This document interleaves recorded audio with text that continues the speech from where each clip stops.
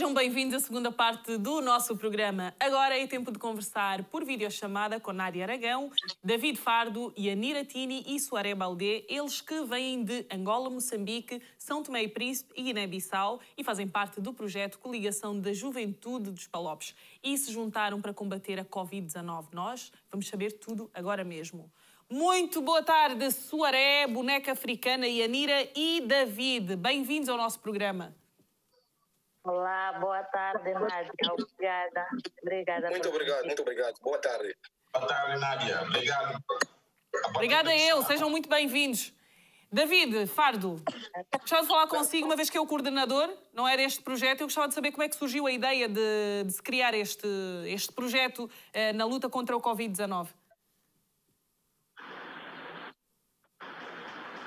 Bom, uh, meu nome é David nós estamos aqui a este projeto, da, da, nesse uh, o projeto da coligação uh, da juventude dos Palopes, que no âmbito também desta pandemia, que numa fase inicial nós tivemos um encontro, nesse caso, uh, programado com, a, a, a, nesse caso, a mandatária, poderíamos assim referir, a enviada especial da, da União Africana, que é a AIACHEB, e que no âmbito deste encontro estávamos lá como Juventude dos Palopes, que geralmente esses encontros têm tido uma miscelânea, nesse caso de países falantes de língua portuguesa, inglesa, por aí em diante, e nós achamos importante juntarmos como eh, a juventude falando da língua oficial portuguesa, nesse caso específico, são seis países a nível da, África, e que a posterior deste encontro nós achamos conveniente dar seguimento, não só pelo encontro que tivemos, ou seja, que programamos com, com a enviada da, da União Africana, mas que enquanto juventude africana dos Palopes, de certa forma, olhamos do ponto de vários desafios, vários problemas que nós enfrentamos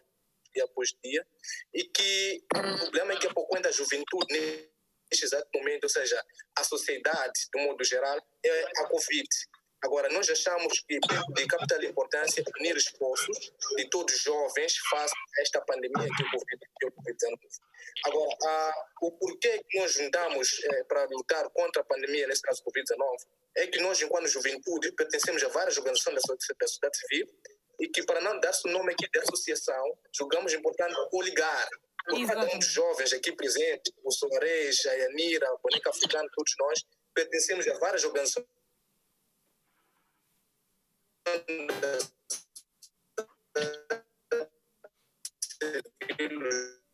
Bem, estamos, estamos, estamos a perder o David. Eu vou passar a palavra então aqui à Yanira. Yanira, tudo bem? Sim, sim, está tudo bem. Falas, falas de Moçambique, não é, Yanira? Não, sou de São Tomé. De São Tomé, muito bem, temos São Tomé na casa. Yanira, como é que surgiu a, a oportunidade de fazer parte deste, desta coligação?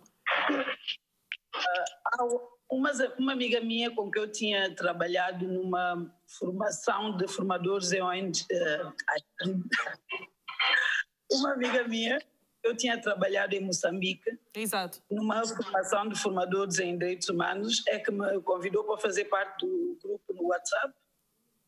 E eu aceitei logo porque tem a ver com defesa de direitos humanos que acabam por ser acaba por ser uma causa minha que eu defendo no meu dia a dia, portanto senti que fazia sentido estar num grupo de jovens que defendiam o mesmo. Muito bem. E o convite veio por parte da, da, da, da coligação, já existia ou, entretanto, uh, uniram-se os jovens e, e, acabou por se criar? Porque eu não percebi muito bem como é que surgiu. Uh, uh, perdemos um bocadinho o, o, o David, então gostava de perceber muito bem como é que surge este, esta coligação. Uh, cada um de, dos membros da coligação já faz parte de várias associações, ou como presidente ou como membro de alguma associação. Exatamente. Então, a coligação foi formada uh, posteriormente, quando nós decidimos juntar as vozes do, da juventude dos Palop numa voz só. Muito bem. Soaré, Uh, Soaré, que trabalho é que tem, ah, feito, que trabalho é que tem feito assim especificamente em, uh, em prol do, do Covid-19? Porque sabemos que em África, uh, infelizmente, é uma situação que tem vindo a ganhar uh, mais destaque. Infelizmente, tem tido um crescimento, não diria exponencial, lento, mas tem estado a crescer. Que trabalho é que se tem feito nestes, nomeadamente nestes países que temos aqui presentes? como coligação? No âmbito da coligação, a coligação tem uma iniciativa denominada Memórias Covid. Uh, essa iniciativa é um, é um projeto amplo é que está a registrar atividades dos diferentes, uh, dos diferentes países de Palopes, não só, como também das, das entidades individuais que estão a fazer as ofertas e benfeitorias, né? iniciativas solidárias, bem como dos organismos internacionais, as iniciativas estatais, quer por parte do governo, seja Estado. Então, independentemente desse mapeamento, temos feito temos feito oferta das cestas básicas a nível de diferentes países, desde Cabo Verde, Guiné Equatorial, Moçambique, dizia há bocado o meu colega David, uh, no âmbito desse chamamento de comunhão, né, dos apelos, né, para que possamos unir as nossas vozes para trabalharmos, né, uh, numa frente contra o Covid, contra a Covid, então daí surgiu a necessidade de ir mais longe, além do Covid.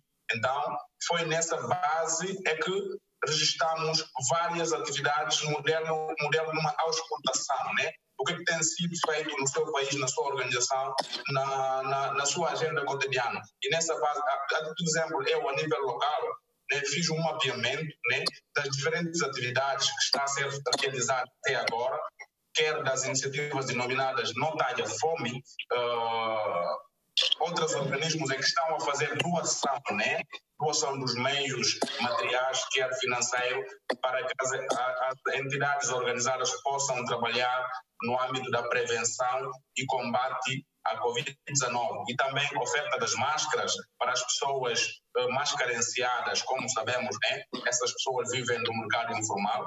Uh, mesmo tendo as máscaras, não terão condições de ter aquelas máscaras mesmo adequadas, ou sobretudo sobretudo como vão usar as máscaras. A pessoa pode usar a, a, a máscara e tirar ao mesmo tempo e mexer as mãos onde não devia não devia ter mexido, claro. né? Então, muitas das coisas é que estamos a fazer no âmbito dessa sensibilização de como usar, como lavar as mãos, com uh, distanciamento social uh, que é permitido então, para que possamos sensibilizar as populações que carecem mesmo das informações de como prevenir essa pandemia. Exatamente. Passamos para a boneca africana, Nádia.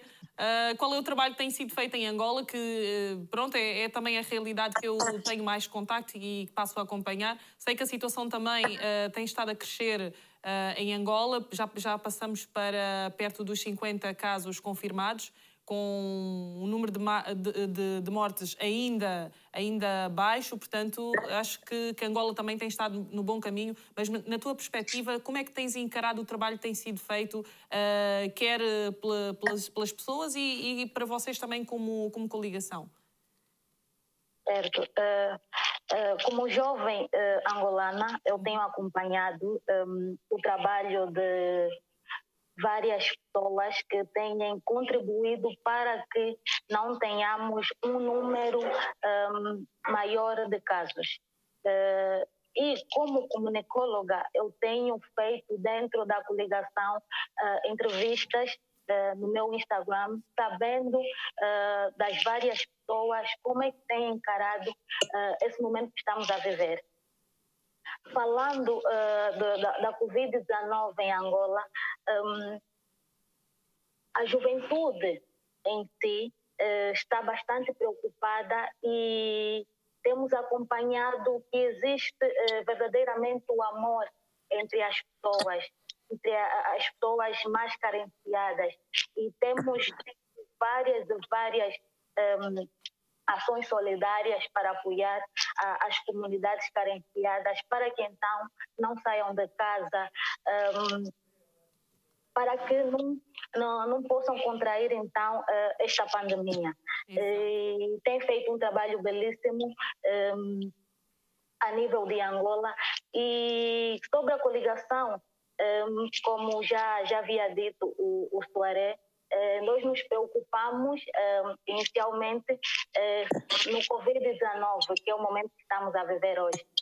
mas houve a necessidade de, então, olhar para outras vertentes.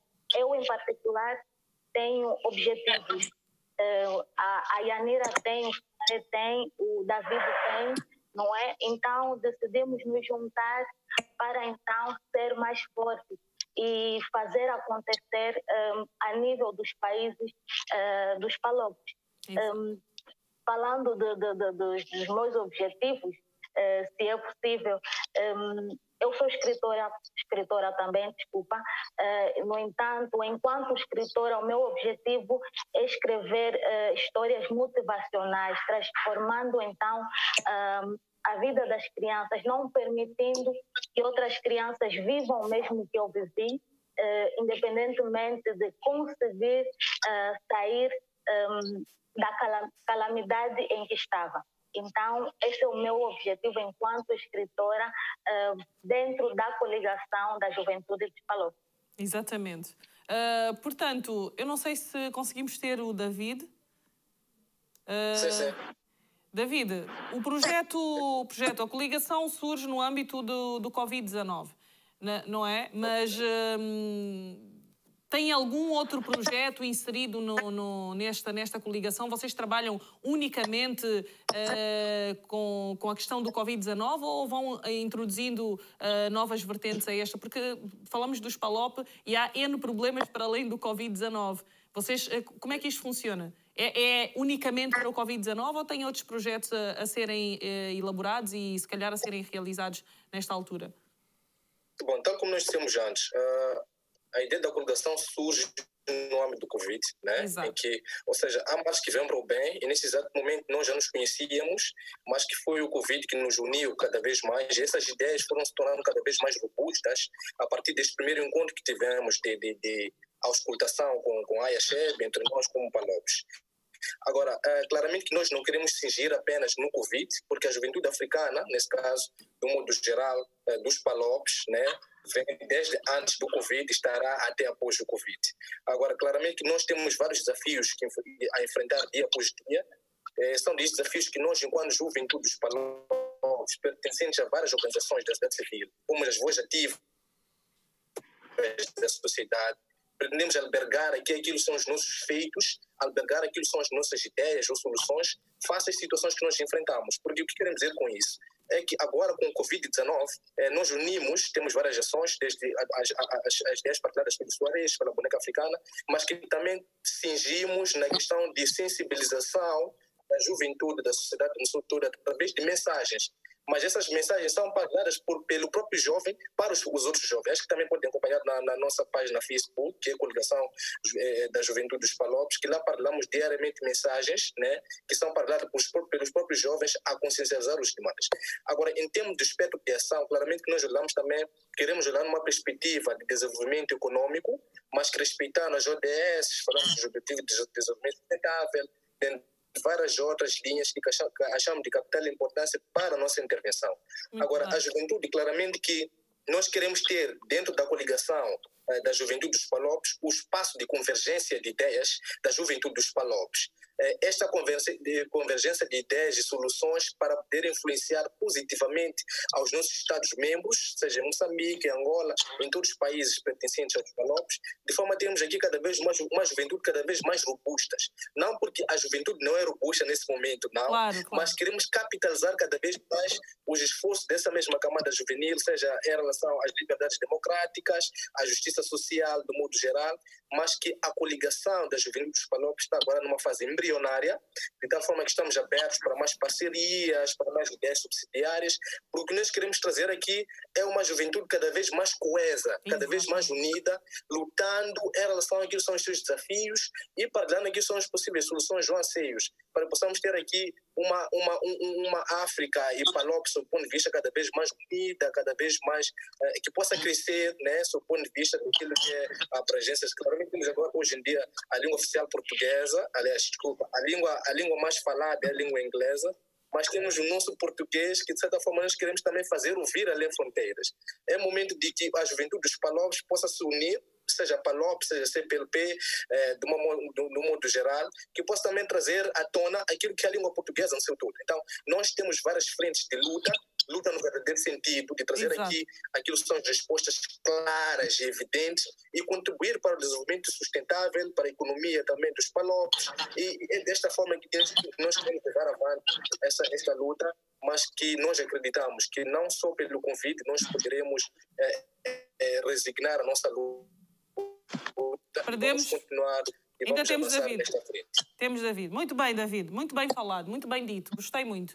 E Anira, eu sei que dentro deste projeto, assim como o Balder disse, ah, como o David ah, falou, ah, existem, não, não, existe não só a questão do, do, do Covid, mas também projetos a serem elaborados e a ideia é mesmo capacitar a juventude em, todos, em todas as vertentes, social, económica, educativa, pa- para o futuro.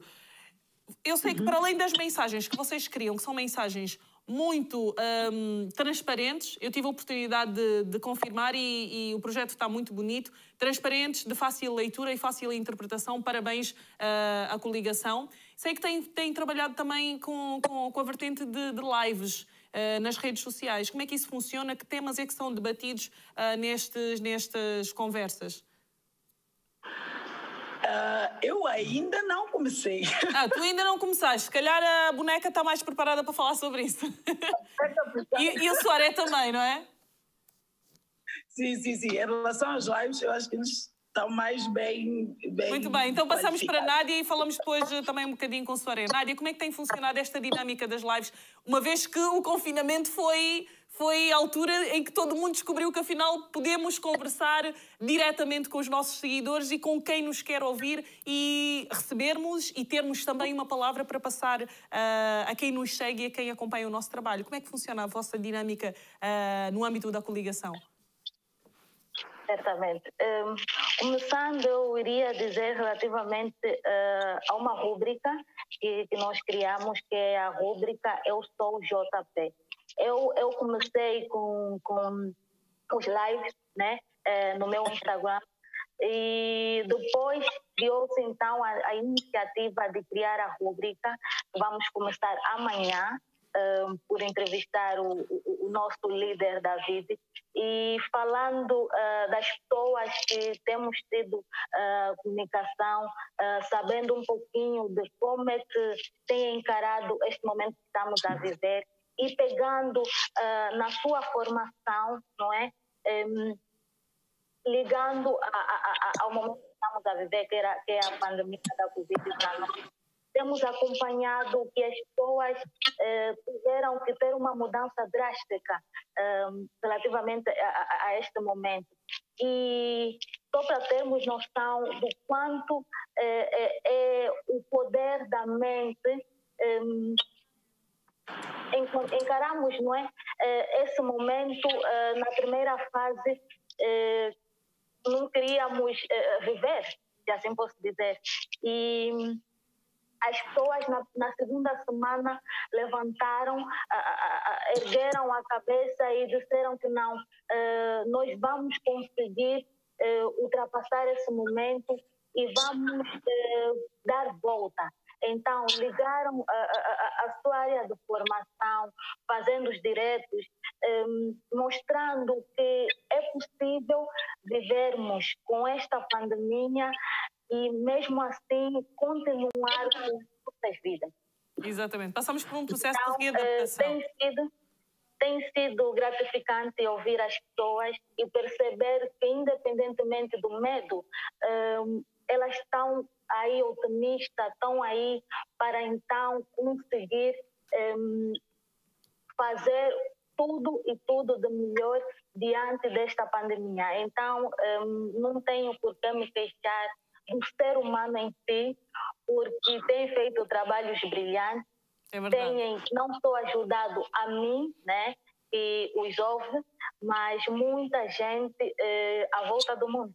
Muito bem, muito bem, boneca. Soré, portanto, o balanço é positivo, não é? Estamos mesmo em cima do tempo, temos. ah, isto vai fechar, temos, temos um minuto. Portanto, o balanço é positivo. Confirmam vocês os quatro do projeto.